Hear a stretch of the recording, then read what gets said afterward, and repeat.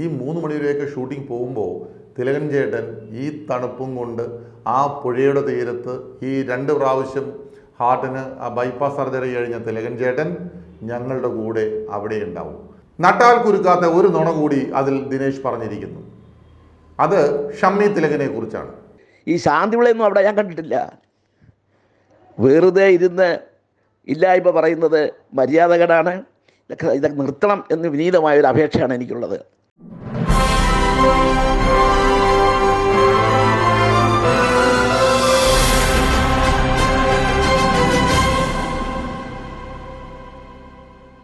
മലയാള സിനിമയിൽ പകരം വെക്കാനാവാത്ത നടന ചാതുരി അഭിനയത്തിന്റെ കുലപതി ശ്രീമാൻ തിലകൻ.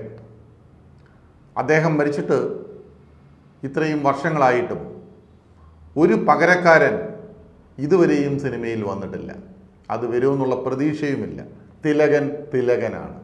തിലകന്റെ ശരീരഭാഷ തിലകന്റെ സംസാരത്തിലെ മോഡുലേഷൻ തുടങ്ങിയ കാര്യങ്ങൾ എല്ലാ സിനിമാക്കാർക്കും സിനിമാ പ്രേമികൾക്കും കാഴ്ചക്കാർക്കും കുട്ടികൾക്ക് വരെയും മനഃപ്പാടമാണ് കാരണം അത്രയ്ക്കുണ്ട് അദ്ദേഹത്തിന്റെ അഭിനയത്തിന്റെ കൈയടക്കവും മിഴിവും ആ തിലകൻ ചേട്ടനെ കുറിച്ച് പറയുമ്പോൾ ഒരുപാട് കാര്യങ്ങൾ പറയാനുണ്ട്.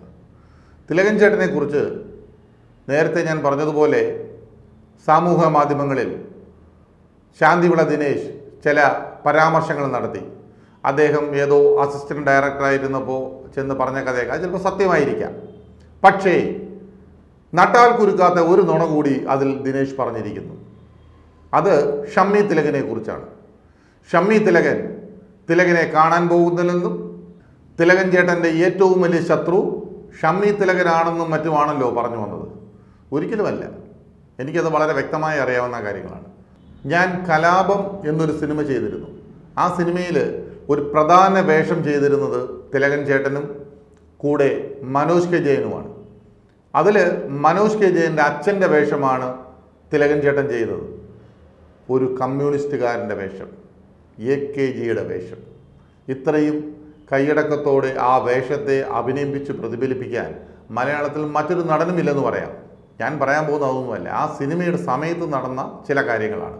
ഈ സിനിമ നടക്കുമ്പോൾ എനിക്ക് തോന്നുന്നു ഏതാണ്ട് രണ്ട് ബൈപ്പാസ് ഓപ്പറേഷൻ കഴിഞ്ഞിരിക്കുകയാണ് തിലകൻ ചേട്ടൻ. സത്യം പറഞ്ഞാൽ ലൊക്കേഷനിൽ ഞങ്ങൾക്ക് എല്ലാവർക്കും ബുദ്ധിമുട്ടുണ്ട് അദ്ദേഹത്തെ കൊണ്ട് ജോലി ചെയ്യിക്കുന്നതിൽ. പക്ഷേ പറഞ്ഞിട്ട് കാര്യമില്ല. സിനിമയാണ്. ഷൂട്ടിംഗ് തറ നടന്ന് തീർന്നെങ്കിലേ പറ്റുള്ളൂ. ചിലപ്പോൾ ഒക്കെ രാത്രി ഒരു ഒൻപത് മണിയൊക്കെ ആകുമ്പോൾ ഞാൻ പറയും ചേട്ടാ നിർത്താം. ഞങ്ങൾ ബാക്കിയുള്ള ഷോട്ട്സ് എടുത്തിട്ട് നാളെ ബാക്കി ഷൂട്ട് ചെയ്യാമെന്ന് പറയുമ്പോൾ തിലേചേട്ടൻ പറയും വേണ്ട. നിങ്ങൾ എത്ര മണി വരെ പോകണോ അത്രയും മണി വരെ പൊക്കോട്ടെ. ഈ ചിത്രം ഷൂട്ട് ചെയ്തത് കാലടിയിലും മൂവാറ്റുപുഴയിലും ഒക്കെ വെച്ചായിരുന്നു. കൂടുതലും ഈ പുഴയും പുഴയുടെ തീരത്തും ഒക്കെയുള്ള ഷൂട്ടിംഗ് ആയിരുന്നു കൂടുതലായിട്ടുണ്ടായിരുന്നത്.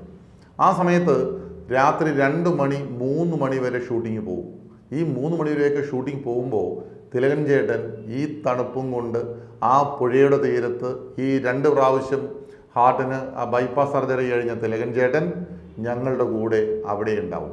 അപ്പം ഞാൻ പലപ്പോഴും നിർബന്ധിക്കും ചേട്ടൻ പൊക്കോളൂ നമുക്ക് നാളെ ഡേ ഫോർ നൈറ്റ് എടുക്കാം. ഡേ ഫോർ നൈറ്റ് എന്ന സിനിമയിൽ പറഞ്ഞാൽ പകൽ രാത്രിയാക്കി എടുക്കുന്ന ഒരു പ്രക്രിയയാണ്. അപ്പോൾ അങ്ങനെ നമുക്ക് എടുക്കാം എന്നൊക്കെ പറഞ്ഞാലും ചേട്ടൻ പറയും വേണ്ട. അത് അതിന്റെ ഒറിജിനാലിറ്റി തന്നെ പോട്ടെ ബൈജു. അത് നമുക്ക് എടുക്കാം. എടുക്കാം എടുക്കാം എന്ന് അദ്ദേഹം തന്നെയാണ് പറയുന്നത്. എന്നിട്ട് ഈ രണ്ട് മണിക്ക് ഷൂട്ടിംഗ് കഴിഞ്ഞ് ലൊക്കേഷനിൽ പോയ ലൊക്കേഷനിൽ നിന്ന് പോയി ആ റൂമിൽ കിടന്ന് ഉറങ്ങുന്ന തിലയഞ്ചേട്ടൻ പിറ്റേ ദിവസം രാവിലെ ഏഴ് മണിക്ക് വീണ്ടും ഷൂട്ടിങ്ങിന് റെഡിയാണ് അത്രയ്ക്കും ആത്മസമർപ്പണം ഉള്ള ഒരു നടനായിരുന്നു തിലകൻ. അദ്ദേഹത്തോട് ബഹുമാനം മാത്രമേ ഉള്ളൂ സ്നേഹം മാത്രമേ ഉള്ളൂ. അദ്ദേഹത്തിന്റെ മകൻ ഷമ്മിയും എന്റെ സിനിമയിൽ അഭിനയിച്ചിട്ടുണ്ട്. ഷമ്മി ഒന്നും ഒരിക്കലും ഒരു അഹങ്കാരിയായിട്ട് എനിക്ക് തോന്നിയിട്ടില്ല. പക്ഷേ ശാന്തിവിള ദിനേശിന് തോന്നിയിട്ടുണ്ടായിരിക്കാം പക്ഷേ എനിക്ക് തോന്നിയിട്ടില്ല. ഷമ്മിക്ക് അച്ഛനോട് വളരെയധികം ബഹുമാനവും സ്നേഹവുമായിരുന്നു തിലകൻ ചേട്ടന്റെ ഞാൻ പറയാൻ വന്നത് തിലകൻ ചേട്ടന്റെ അവസാന നാളുകൾ വളരെയധികം കഷ്ടം പിടിച്ച നാളുകളായിരുന്നു. സിനിമയിലെ ചില പ്രമുഖരെക്കുറിച്ച് വിമർശിച്ചതിനെ തുടർന്ന് സിനിമയിൽ നിന്ന് ഭ്രഷ്ട് കൽപ്പിച്ചു. സിനിമയിൽ നിന്ന് അകറ്റി നിർത്തി. ഈ അതുല്യ കലാകാരനെ അകറ്റി നിർത്തിയതിൽ മലയാള സിനിമ ഖേദിക്കും അന്ന് പലതവണ വിനയനും ഞാനും ഒക്കെ പലതവണ പറഞ്ഞിട്ടുണ്ട് മലയാള സിനിമ ഖേദിക്കും നിങ്ങൾ ഇദ്ദേഹത്തെ മാറ്റി നിർത്തരുത്. പക്ഷേ മലയാള സിനിമ അദ്ദേഹത്തെ അവഗണിച്ചു. മലയാള സിനിമയല്ല അവഗണിച്ചത്. മലയാള സിനിമയിലെ തമ്പുരാന്മാരെന്ന് വിശേഷിപ്പിക്കുന്ന കുറേ വൃത്തികെട്ട ആളുകൾ അദ്ദേഹത്തെ മാറ്റി നിർത്തി സിനിമയിൽ നിന്ന്. അതിന്റെ ഫലം എന്താണെന്നറിയാമോ അദ്ദേഹം അത് കഴിഞ്ഞിട്ട് ഏതാണ്ട് പതിനെട്ട് മാസത്തോളം സി പി ഐയുടെ പ്രമുഖനായ ഒരു നേതാവും ആ അമ്പലപ്പുഴയിലുള്ള ഒരു എല്ലാവർക്കും വേണ്ടപ്പെട്ട ആളുമായ അമ്പലപ്പുഴ രാധാകൃഷ്ണൻ എന്ന ആളുടെ വീട്ടിലായിരുന്നു തിലകൻ ചേട്ടന്റെ താമസം. അവിടെ ഒരു ശ്രീകൃഷ്ണ ലോഡ്ജുണ്ട് ആ ലോഡ്ജിലെ നൂറ്റി പത്താം നമ്പർ മുറിയായിരുന്നു പതിനെട്ട് മാസത്തോളം മരണത്തിന് മുമ്പ് അദ്ദേഹം ഉപയോഗിച്ചിരുന്നത്. ജീവിക്കാൻ നിവൃത്തിയില്ലാതെ വന്നപ്പോൾ അവിടെ ഒരു നാടക ട്രൂപ്പ് തുടങ്ങി. ആ നാടക ട്രൂപ്പിന്റെ പേരെന്താണെന്ന് അറിയണ്ടേ അക്ഷരജ്വാല. ആദ്യ നാടകം ദൈവത്തിന്റെ സ്വന്തം നാട്. ഈ നാടകം നൂറ്റി നാൽപ്പത് സ്റ്റേജുകളിൽ കളിച്ചു. അപ്പോൾ തിലചേട്ടൻ പറഞ്ഞത് സിനിമയില്ലെങ്കിൽ വേണ്ട നാടകം കളിച്ച് ജീവിക്കാൻ എനിക്കറിയാം എന്നാണ് അദ്ദേഹം പറഞ്ഞത്. ഇവിടെ രാധാകൃഷ്ണൻ ചേട്ടനും തിലകൻ ചേട്ടനുമായിട്ടുള്ള ഒരു ആത്മബന്ധം വളരെ വലുതായിരുന്നു ഈ അവസാന കാലത്ത്. അവിടെ ഷമ്മിയും ഷോബിയും ഒക്കെ കാണാൻ വന്നിട്ടുണ്ട് പല സമയത്തും. രാധാകൃഷ്ണൻ ചേട്ടന്റെ വാക്കുകൾ നമ്മൾ ഇതിന് ഇതിന്റെ പിന്നാലെ ഇടുന്നുണ്ട്. അതിനകത്ത് വളരെ വ്യക്തമായി അദ്ദേഹം പറയുന്നുണ്ട്. അല്ലാതെ ഈ ശാന്തിവിള തള്ളു ദിനേശ് ആ ഏരിയയിലേ വന്നിട്ടില്ല. അവിടെ വന്ന് കണ്ടിട്ടുമില്ല. കഴിഞ്ഞ ദിവസം സോഷ്യൽ മീഡിയയിൽ ശാന്തിവിള ദേശ് എന്ന് പറയുന്ന ഒരു വ്യക്തി ബഹുമാന്യ തിലകൻ ചേട്ടനെ സംബന്ധിച്ച് ചില പരാമർശങ്ങൾ നടത്തിയിട്ടുണ്ടായി. സത്യവുമായി യാതൊരു ബന്ധവുമില്ലാത്ത കാര്യമാണ് അദ്ദേഹം അതിൽ പറഞ്ഞത്. ബഹുഭൂരിപക്ഷവും അദ്ദേഹത്തിന്റെ അവസാനകാലം പതിനെട്ട് മാസക്കാലം അദ്ദേഹം എന്റെ കൂടെ അമ്പലപ്പുഴയിൽ എന്റെ മകളുടെ ലോഡ്ജിലാണ് താമസിച്ചുകൊണ്ടിരുന്നത് പതിനെട്ട് മാസം. അന്ന് അദ്ദേഹത്തിന് വേണ്ടിയിട്ടുണ്ടാക്കിയ നാടക സമിതിയാണ് അമ്പലപ്പുഴ അക്ഷരജ്വാല. സത്യത്തിൽ ഇന്നും ഞാൻ അതിനകത്ത് വേദനിക്കുക. കാരണം ആ ഒരു നാടകമാണ് ഒരു പക്ഷേ അദ്ദേഹത്തിന്റെ ജീവിതം എടുത്തെന്ന് ഞാൻ വിചാരിക്കുന്നു. കാരണം ബ്ലഡ് ഷുഗർ മുന്നൂറ്റി തൊണ്ണൂറ് creatinine four point six urea ദൂറിനടുത്ത് ഉള്ള ഒരു വ്യക്തി രാത്രി രണ്ട് മണിക്കൂർ നാടകം കളിക്കുക എന്ന് പറഞ്ഞാൽ ഒരു സന്ദർഭത്തിൽ ഞാൻ നാടകം നിർത്തിയട്ടെ ഏട്ടാന്ന് വരെ ചോദിച്ചു. അപ്പോൾ എന്നോട് പറഞ്ഞില്ല ഞാൻ എനിക്ക് അവിടെ കിടന്ന് മരിക്കണം നാടക സ്റ്റേ തട്ടയിൽ കിടന്ന് മരിക്കണം എന്നാലേ ഇവർക്കൊരു പ്രതികാരമാകത്തുള്ളൂ എന്ന് എന്നോട് പറഞ്ഞിട്ടുണ്ട്. അങ്ങനെയുള്ള അദ്ദേഹത്തെയാണ് ഒരു സിനിമാക്കാർക്കൊരു പങ്കുമില്ല എന്ന് അദ്ദേഹം ന്യായീകരിക്കുമ്പം ആർക്ക് വേണ്ടിയിട്ട് അദ്ദേഹം ന്യായീകരിക്കുന്നത്? പതിനെട്ട് മാസക്കാലം അദ്ദേഹം ഇവിടെ താമസിച്ചപ്പം ഒരു ദിവസം പോലും ഈ മാന്യ വ്യക്തിയെ ഞാനിവിടെ കണ്ടിട്ടില്ല. ഒരു ദിവസം പോലും. അദ്ദേഹത്തിന്റെ മക്കളൊന്നും അദ്ദേഹത്തിന്റെ ശത്രുക്കളായിരുന്നില്ല. ഷാമി വരുമായിരുന്നു ഷോബി വരുമായിരുന്നു. അദ്ദേഹത്തിന്റെ മക്കളൊക്കെ അന്വേഷിക്കുമായിരുന്നു. പിന്നെ ഇവരുടെ ഒന്നും സഹായം അദ്ദേഹത്തിന് ആവശ്യമില്ല അത് വേറെ കാര്യം.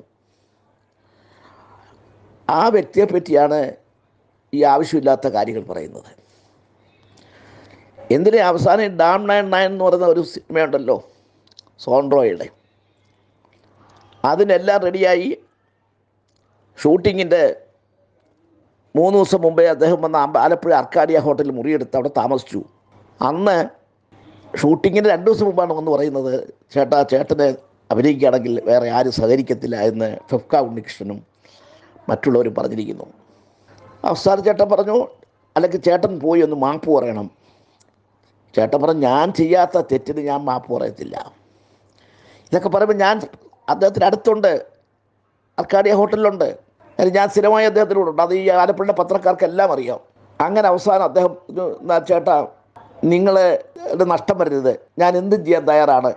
എനിക്ക് ചേട്ടനെ പറഞ്ഞുകൂടാക്കുന്നത് ചേട്ടൻ പോകുന്നു എന്ന് പറഞ്ഞ് പോകുന്നതാണ് എനിക്കിഷ്ടം. അപ്പോൾ പറഞ്ഞു ശരി പോവാം. എന്റെ തുക തന്നാൽ മതി. അങ്ങനാണ്.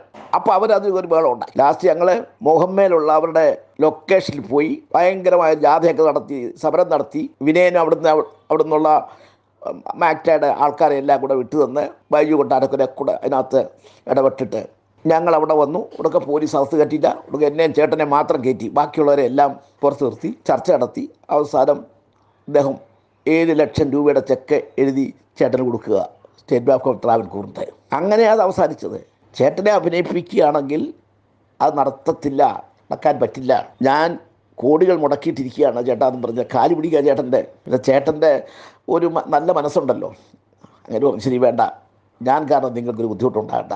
അന്നൊന്നും ഈ ശാന്തിയുടെ ദിനേശ് എന്ന് പറയുന്ന ആളിനെ ഞാൻ കണ്ടിട്ട് പോലുമില്ല. അദ്ദേഹത്തിന്റെ പറത്തി കേട്ടപ്പോൾ ഞാൻ അത്ഭുതപ്പെട്ടു. ഇങ്ങനെ ഒരു മനുഷ്യൻ. തിലകൻ ചേട്ടൻ ജീവിച്ചിരുന്നിരുന്നെങ്കിൽ ഒരു പക്ഷേ അവിടെ ചെന്ന് അടിച്ചേനെ അങ്ങേരുടെ സ്വഭാവത്തിന്. ഒരിക്കൽ പോലും ഈ പേര് ഒന്ന് പറഞ്ഞ് ഞാൻ കേട്ടിട്ടില്ല. എത്രയോ പേരുടെ സിനിമയിലെ പേരുകൾ അദ്ദേഹം പറയാറുണ്ട്. അദ്ദേഹം എപ്പോഴും പറയും മോഹൻലാലിനെ പറ്റി പറയും മോഹൻലാൽ പാവുക സ്നേഹമുള്ളവനാ.